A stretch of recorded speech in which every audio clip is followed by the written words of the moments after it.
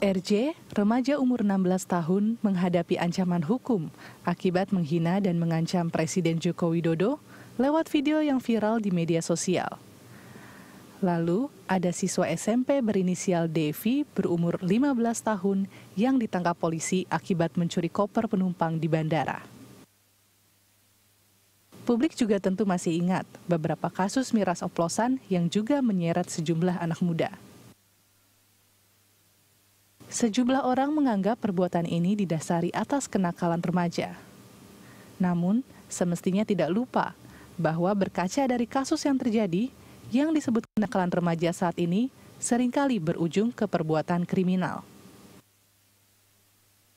Di usia mereka yang menginjak dewasa, nampak bahwa pemahaman akan batas perilaku tidak begitu dipahami. Padahal, Generasi muda saat inilah yang nantinya akan menjadi roda penggerak utama kemajuan bangsa. Indonesia memang memiliki harapan besar terhadap potensi modus demografi. Oleh karena itu, sudah sewajarnya ada porsi perhatian yang besar yang ditujukan terhadap remaja-remaja generasi kini.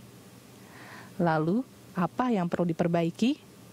Apakah kita terlalu fokus mencetak anak yang pintar sehingga lupa mementingkan aspek pengembangan karakter dan moral?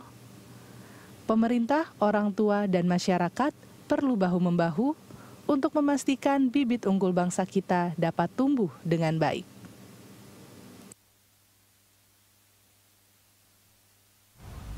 Ya pemirsa, meski tidak sedikit pula remaja kita yang berprestasi, namun beberapa kasus kriminal oleh remaja yang terjadi belakangan ini semestinya tidak dianggap enteng.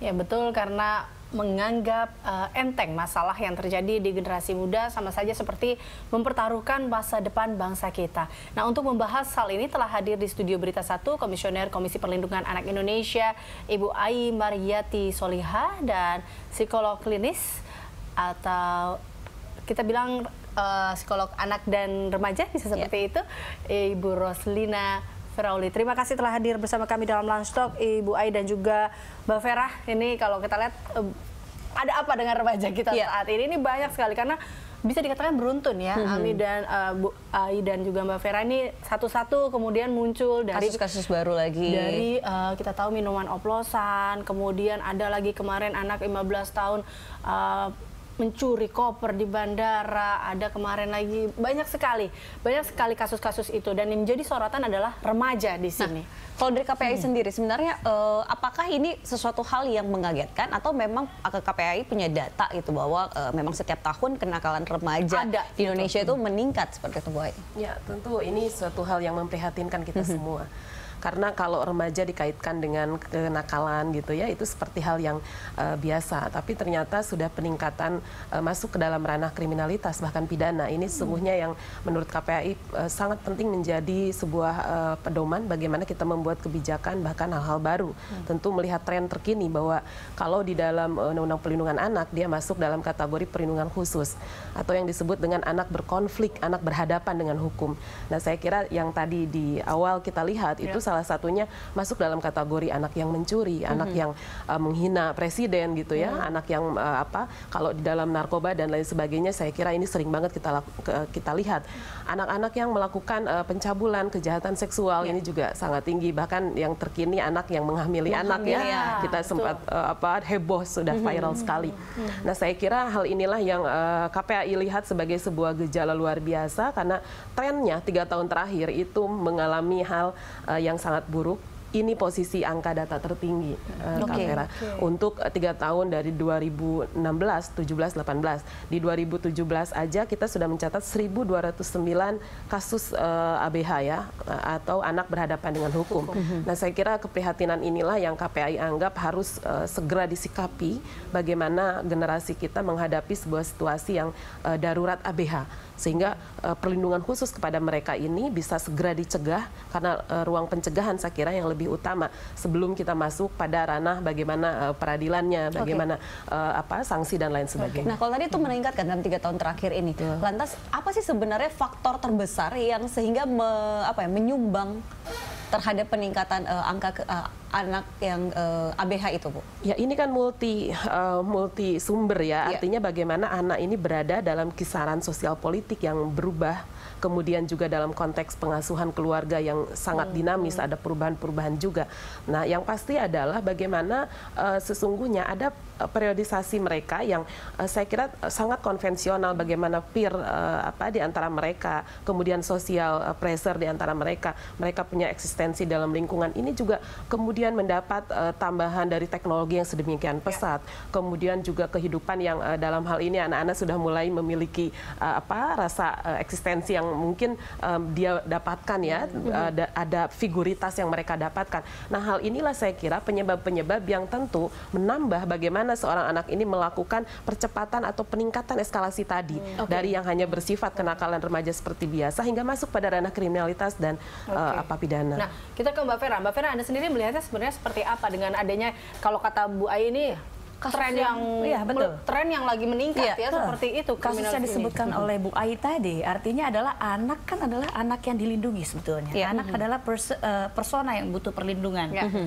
ketika anak yang butuh perlindungan sudah melakukan aksi kriminal mm. yang melakukan uh, dalam dalam pengertian melakukan pelanggaran tidak hanya pelanggaran norma-norma uh, mm -hmm. sosial loh ya yeah. hukum loh artinya ada sistem yang disfungsi di sini.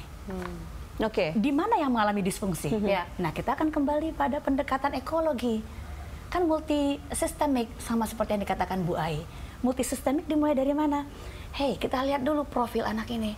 Profil anak, anak remaja, ya. Anak remaja itu seperti apa sih? Hmm. Kebetulan kalau memang da dari data dari data riset yang ada, anak remaja sistem persyarafannya memang uh, lebih sensitif terhadap hmm. stimulasi dari lingkungan dalam bentuk respons mereka nanti akan lebih uh, overreaktif. Okay. Sehingga ketika dimarahin oleh ortu, anak yang kecil dibandingkan dengan anak remaja, hmm. cara mereka berespons tentu akan lebih reaktif anak yang remaja. Nih, ini remajanya dulu. Dia tinggal di keluarga yang seperti apa? Keluarga yang uh, fungsi, uh, mampu berfungsi dengan baik kedua orang tuanya atau dalam keluarga yang dis dysfunction, hmm. disfungsi. Nah, kalau dari pengalaman saya menemani mahasiswa mahasiswa S2 saya dulu bertahun-tahun kita mengirim mahasiswa ke lembaga pemasyarakatan anak laki-laki di Tangerang, mm -hmm.